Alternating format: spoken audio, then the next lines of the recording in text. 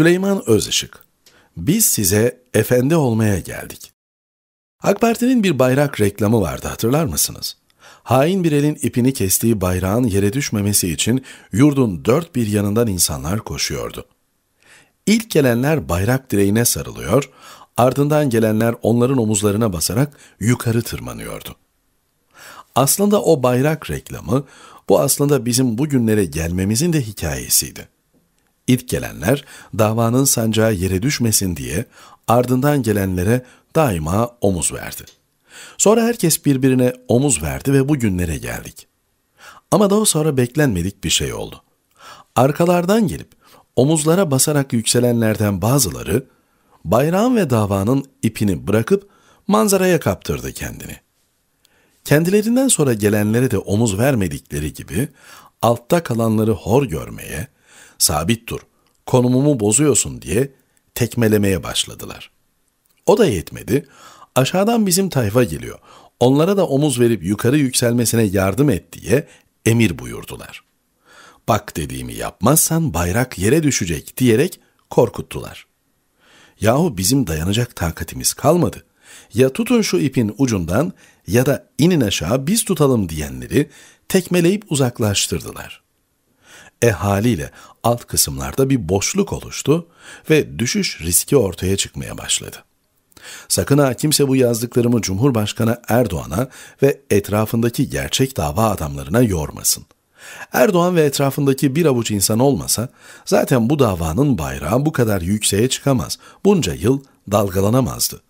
Ben içimizde olup kahır zamanlarında yanımızda olmayanlardan bahsediyorum. Yaşadığımız süreci şöyle kısaca özetlemek gerekirse.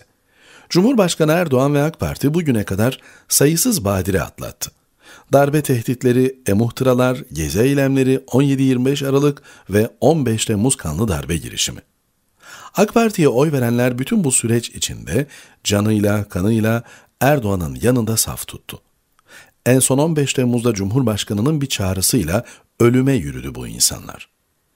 Biz bu insanlara ne yaptık da gidip terör örgütü PKK'nın partisiyle işbirliği yapan CHP'ye oy vermelerine neden olduk? Kemal Kılıçdaroğlu gibi bir siyaset faciasını sevindirecek, Recep Tayyip Erdoğan gibi bir siyaset dehasını üzecek hangi hatalara imza attık? Kendimize sormamız gereken can yakıcı sorular bunlar. Gidenleri ihanetle suçlamak, onlara hakaret etmek kolay.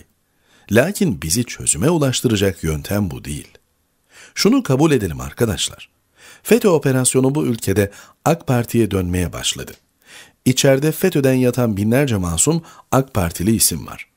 OHAL İşlemleri Komisyonu suçsuzdur demesine rağmen görevlerine iade edilmeyen on binlerce insan var.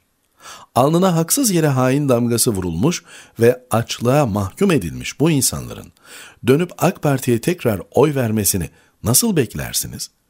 Dün gözüme bir haber ilişti. Doğu ve Güneydoğu'daki muhtar adayları başta İstanbul olmak üzere büyük şehirlerde yaşayan hemşehrilerinin seçmen kaydını 31 Mart'ta kendilerine oy vermeleri için köylere taşımış. İstanbul Muhtarlar Federasyonu Başkanı ve Ümraniye Necip Fazıl Mahallesi Muhtarı Kadir Delibalta aylar öncesinden bu duruma dikkat çekmiş. Bu taşıma işlemi İstanbul'da seçim sonuçlarını baştan sona değiştirebilir diye uyarmış. İstanbul'da yaklaşık bin mahalle var. Her bir mahalleden ortalama 500 kişinin bu seçimlerde muhtarına destek vermek için köyüne gittiği varsayımları yapılıyor. Ortaya 500 bin gibi korkunç bir rakam çıkıyor. İşte tam bu noktada kendimize bir kez daha şu soruyu sormamız gerekiyor. Biz ne yaptık da şehirden şehire göç ederek muhtarına oy vermeye giden bu insanları AK Parti'ye oy vermeye ikna edemedik? Sebebi çok basit. Cumhurbaşkanı Erdoğan her fırsatta biz size efendi olmaya değil, hizmetkar olmaya geldik diyordu. AK Parti içinden birileri yaptıkları icraatlarla biz size efendi olmaya geliyoruz dedi adeta. Şu kardeşiniz bu köşeden aylarca bağırdı.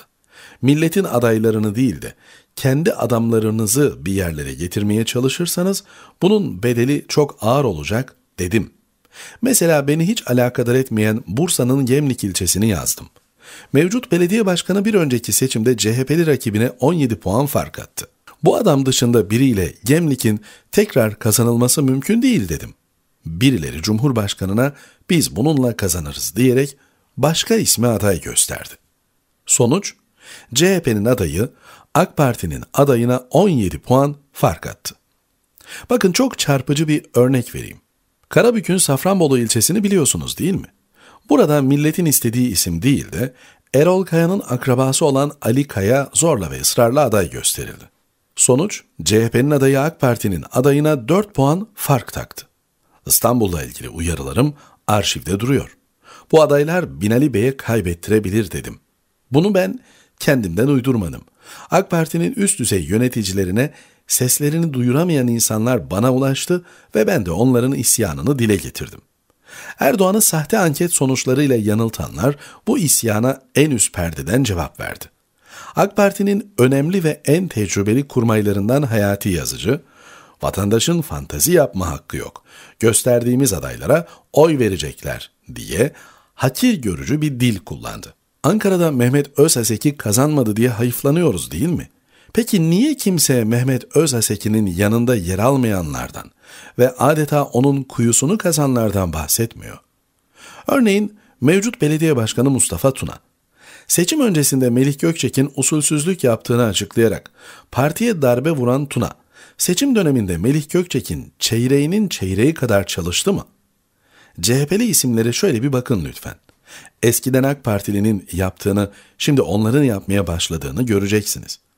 Bizim kırdıklarımızı onlar sahipleniyor. Bizim sırt üstü ittiklerimizi onlar tutuyor.